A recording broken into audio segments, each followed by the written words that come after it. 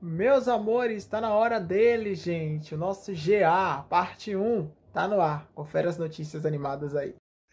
Olha só, gente, uma executiva da Universal lamenta uma possível venda da Paramount. Durante um encontro empresarial no Festival de Cannes, a chairperson da Universal Studio, Donna Larkin, lamentou sobre a possibilidade da venda da Paramount Pictures, que já vem sendo ventilada pela Sonic Pictures via Deadline. Vocês estão vendo aí que já faz algumas edições do GA. Não teve GA semana passada, mas tá tendo nessa até. Então, vocês estão vendo aí, né, que tá tendo muita essa notícia, né, que eu tô cobrindo aqui sobre a venda, a possível venda da Paramount. É triste realmente, né, uma venda, mas acontece. A gente viu recentemente, né, a Century, peraí, a, é a Century Studio, é, a Fox, né, eu ia, eu ia chamar pelo nome original, mas para abreviar aqui para vocês, a Fox foi vendida para Disney, a gente cobriu recentemente. Ela disse acreditar no cenário competitivo da indústria e que a consolidação destes estúdios é prejudicial para os negócios, mas lembra que a pandemia acabou prejudicando muitas empresas e que o cenário pode ser mais sombrio internamente do que nós conhecemos. É triste, são empresas incríveis e que eu acredito muito nesse cenário competitivo e eu quero ter concorrentes saudáveis. É muito mais divertido, interessante e melhor para o negócio. Que visão legal, né, gente, dela? Isso que é uma visão legal. Eu super teria uma visão dessa se eu fosse um executivo. Sabe, a gente é concorrente, mas para a gente ser realmente empresas saudáveis, a gente tem que ter um bom relacionamento e tem que torcer para um ter um sucesso e o outro também ter, né? Isso é legal. É realmente é o que eu sempre falo aqui, né, José Rubens e pessoal que me assiste. Eu não fico torcendo para Globo somente ser bem sucedido. Eu torço para todas as emissoras né, Record, SBT, Rede TV, eu quero que todas tenham uma grade competitiva, porque quanto mais elas se mexem, Watson, mais oferta, mais programação a gente tem. A gente fica menos refém de enlatados e mais refém de programação própria de qualidade. A executiva comenta ainda que espera que esse impasse seja resolvido até o final do ano. E vai demorar muito, que esse negócio de negociação tem um monte de coisa de contrato. E que a movimentação dessas empresas, em parte, tem a ver com a maneira pelo qual o consumidor busca os seus produtos. Concordo com ela. Enfim, gente, o que vocês acham aí? Será que realmente vai ter essa venda ou vai acontecer um milagre aí? A Paramount vai conseguir se reestruturar e nada disso vai acontecer? Vamos aguardar as cenas dos próximos capítulos. Vocês aí se lembram do Tsunami? Pois é, ele vai ganhar uma versão nostálgica nos Estados Unidos. Ai, fã, mas o que, que isso tem a ver com o Brasil? Ah, se dá certo lá, talvez eles repliquem isso aqui. Não se esqueçam que o Tsunami é muito pedido para voltar. Recentemente voltou no cartão e foi uma bomba, né? Não foi o Tsunami realmente que o público queria ver. O Broco Adult Swim anunciou nesta sexta-feira 17 que estará lançando uma versão nostálgica do Tsunami, ainda neste mês de maio, para sua audiência nos Estados Unidos, intitulado Tsunami Hellwind. O programa apresentará animes clássicos para reviver aquele sentimento aconchegante dos seus telespectadores, sempre apostando em coisa clássica, né? O Hellwind apresentará antigas vinhetas dos anos 2000 para dar uma incrementada nesta vibe nostálgica. Mas essas vinhetas, no caso, são as originais ou são releituras? Acho que devem ser as originais, né? Que legal, como se tivesse uma nova. Ah, que legal isso, né, Dentada? Como se eles tivessem re. re é vivendo a programação antiga, né? voltando à programação antiga, até com as vinhetas originais. Entre os títulos que serão levados ao ar estão Sailor Moon, é, eu já ia falar isso, que isso aqui é Sailor Moon. Dragon Ball Z Kai e Naruto. A exibição acontecerá todas as sextas-feiras, das 5 às 7. Mesmo horário que o Brock era transmitido no Brasil. É bom lembrar que o Adult Swim agora ocupa um grande espaço na programação do Cartoon Network Estados Unidos, indo ao ar das 5 até as Peraí, das 5 da tarde às 5 da manhã do dia seguinte. Além do Hellwind, também está é, existente né, um projeto de Shekharad Past, que transmite cartoons, cartoons clássicos como Laboratório de Dexter e Coragem com Covarde. O Tsunami Hellwind terá início no próximo dia 31 de maio, olha só, nos Estados Unidos, com seu espaço principal seguindo normalmente nas madrugadas de sábado. Aqui no Brasil, infelizmente, o canal Adult Swim não exibe o Tsunami de forma oficial, o cita apenas como algumas piadinhas de seus comerciais, mas não há mas há exibição de animes como One Piece e Dragon Ball Z. Eu acho assim, gente, que se dar certo lá nos Estados Unidos, talvez eles existem, né, a possibilidade de trazer para cá. Eu acho assim que como o Adult Swim, ele é um canal adulto, ele existe, né, ele meio que substituiu o, o falecido Tooncast. Para quem não sabe, o Tooncast acabou, até noticiei aqui no início de fevereiro, por aí. É, eu acho assim que é uma boa, é uma boa ideia, sabe? Eu acho que o Adult Swim poderia oferecer uma programação nostálgica, né, pegando esses fãs do do, do Tooncast, agradando eles de alguma forma, ao mesmo tempo que eles poderiam oferecer também o Toonami, animes novos, trazer é, produtos adultos, né, pelo nome do canal Adult Swim, trazer coisas adultas, né, séries mais adultas. Eu acho que tem como fazer sucesso. Eu acho que um bloco de animes faz muita falta, inclusive até na TV aberta.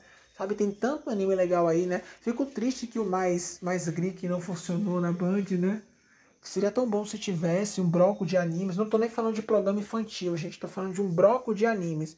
Né? Eu acho que poderia ter em alguma emissora, ou no final de semana, ou de madrugada. Eu acho que seria muito legal. Eu acho que a única emissora que eu consigo imaginar fazendo isso é a Band. Eu poderia falar Rede TV aqui também, mas acho que a Rede TV hoje em dia tá tão fraca. Se fosse uns anos atrás, talvez até existisse essa possibilidade. Mas acho que tá tão fraca que eu acho que nem vale a pena. Mas acho que a Band poderia sim. Né, ter uma programação de animes aí no sábado, no domingo de manhã ou de madrugada, que seria bem divertido. No domingo de madrugada talvez fosse melhor. Quero saber de vocês o que vocês acham. Os The Thundermans. Nickelodeon anuncia série spin-off da série. Após o sucesso do filme Retorno dos Thundermans, a Nickelodeon anunciou nesta quinta-feira 16 que está desenvolvendo uma série em spin-off. Para quem não sabe o que é uma série spin-off, é quando você continua o universo de uma série com alguns personagens sendo os protagonistas. Por exemplo, dando um exemplo aqui. Imaginem que o. Vou pegar um exemplo aqui, né? De família é tudo. Imagine que a Lupita, por exemplo, que não é a protagonista da novela, ganhe uma série spin-off. Ou seja, é como se eles pegassem todos aqueles personagens que fazem parte do núcleo dela, botassem como protagonista numa nova produção e criando novos personagens para rondar o universo dela. Vocês entenderam? Spin-off é isso, é quando você pega alguém que não é protagonista de uma série e dá uma série própria para aquela pessoa, com novos personagens, um novo universo. Estou dando um exemplo para quem não sabe. É, os autores Jack Griffith, Kira Korzak e Maya Leckriden irão retornar como os protagonistas, tá? Judge Springer, junto com Cian W. Kane e Mark Dobson, assume a produção executiva. Os autores Kira e Jack, tá, gente, também estarão na posição. Ou seja, os irmãos vão voltar, tá? A Phoebe e o Max. A trama acompanhará a Phoebe e Max, que foram enviados disfarçados para enfrentarem uma nova ameaça na cidade de Secret Scoring. Os irmãos decidem levar a sua caçula Chloe com eles. Pra quê? Diria Márcia, Márcia Sensitiva. Pra quê? Para que eles possam aprimorar suas habilidades. As filmagens serão iniciadas em agosto na cidade de Vancouver, no Canadá, e ainda não há uma previsão de estreia. Provavelmente ano que vem, a primeira temporada. E aí, gente, né? Olha só, o retorno dos Thundermans, né? Deu início a uma nova série dos Thundermans. E o atentado deve estar do outro lado assim, ó, batendo palma. Aê! Já assistiu o filme, atentado? Já? Gostou? Vale a pena ver? Vale? Que legal, né? Mas fã, o atentado não tá falando. É, mas eu leio a mente dele. Para de pensar isso, atentado. Hum, pai, tu vigia. Atentado. Enfim, eu leio a... Tu pensa demais, atentado. Tu pensou três coisas numa vez só. Enfim, gente, quero saber de vocês o que vocês acham de Thundermans retornando com uma série em spin-off. Olha só, gente, Five Nights and Freddy 2, sequência ganha data de lançamento. Ai, terror, adoro um terrorzinho. Aí o Vats deve estar tá pensando, esse terror é de quê, fã? Ah, de uns animatrônicos que matam pessoas, nada demais, coisa besta. A Universal Pictures divulgou nesta quinta-feira 16 que a sequência de Five Nights and Freddy's, eu vi o Breno do Quarto Parede falando, né, que espera que essa sequência seja menos infantil, porque para quem não sabe, é um terror feito para criança, né, para adolescente. O Pesadelo Sem Fim ganhou uma data de lançamento para dezembro de 25 via Variety. O primeiro filme foi dirigido por Emma Tammy e contou com nomes como Johnson, Ruth Gerson, Elizabeth Lady e Matthew Lillard no elenco. O Matthew, para quem não sabe, tá, gente, né? Ele foi o nosso querido Stu de Pânico 1 e o nosso Eterno Salsicha de Scooby-Doo 1 e Scooby-Doo 2, né? O live action. Ele que faz o vilão do filme. É ele que é o assassino. Hum sempre. Né? Uma vez Ghostface, o assassinato tá, tá, tá, tá sempre associado, né? Enfim. Qualquer pessoa que fez pânico, meu amor, principalmente Ghostface, quando volta fazendo qualquer filme, eu. Hum, hum, não te engana, né, fã? Não engana, não, amor. A trama acompanhou o Mike, tá? Gente que sem emprego. Ih, tá parecendo Vatos. Aceita um trabalho de segurança noturno em uma pizzaria abandonada. Aí não é o Watson não, porque o Watson não quer fazer um negócio desse. Porém, ele não imagina que robôs animatrônicos no local ganham vida durante a noite. É mais um filme pro Watson botar na lista, né? Aí o Watson, como é o nome do filme? Five Nights in Freddy 2.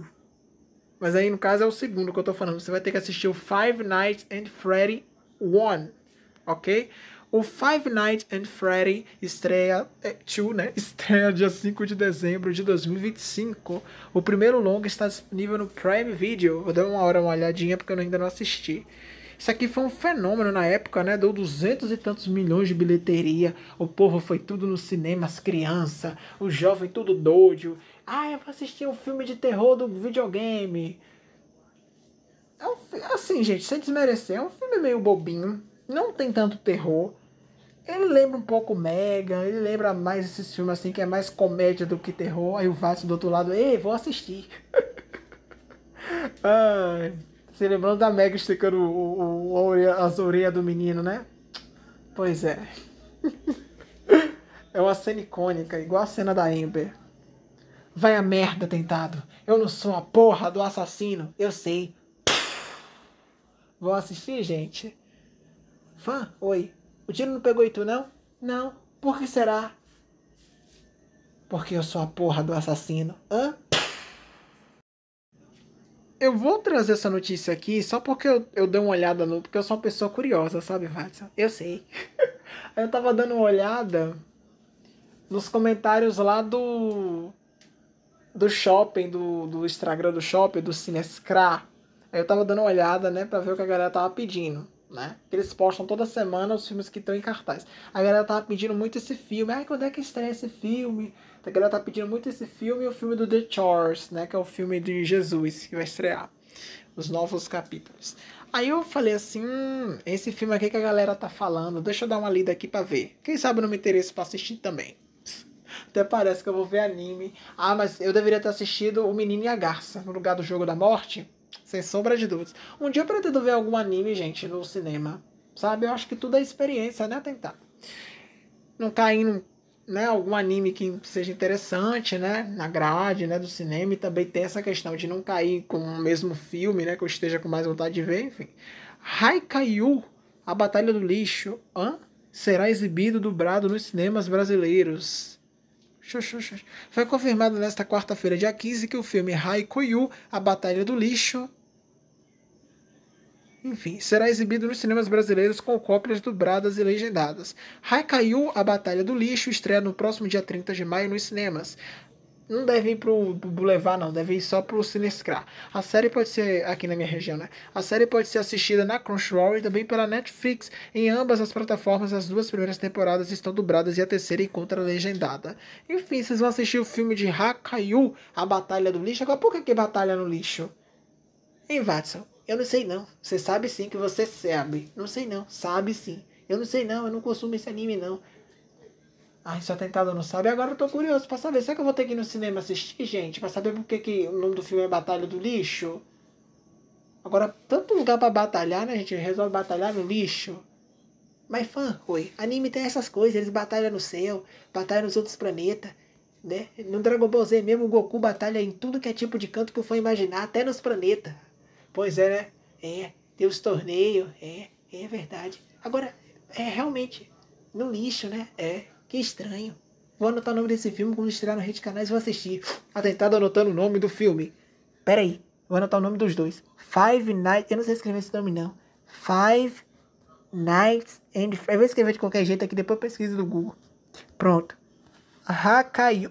Que nome estranho. Hakaiu. Hakaiu. Ô fã, oi. Soleta aí pra mim é, H de homem, H de homem, A, A, I, I, K, K, Y, Y, 2U, é quanto ufa? 2, 2U, Hakaiu, A, A, não precisa falar mais nada não, A Batalha do Lixo, pronto, já anotei. Tá aqui na minha lista de filmes que eu vou passar na TV Aquarela. Lista de filmes que o atentado vai passar na TV Aquarela. Mas antes ele vai ter que assistir. Pois é, antes eu tenho que assistir para depois de eu aprovar, aí eu passo na grade regular das sessões de filmes da TV Aquarela, minha TV fictícia. Ó, oh, pensa que acabou? Acabou não. Daqui a pouco eu tô de volta com a parte 2. Não perde, viu? Daqui a pouquinho.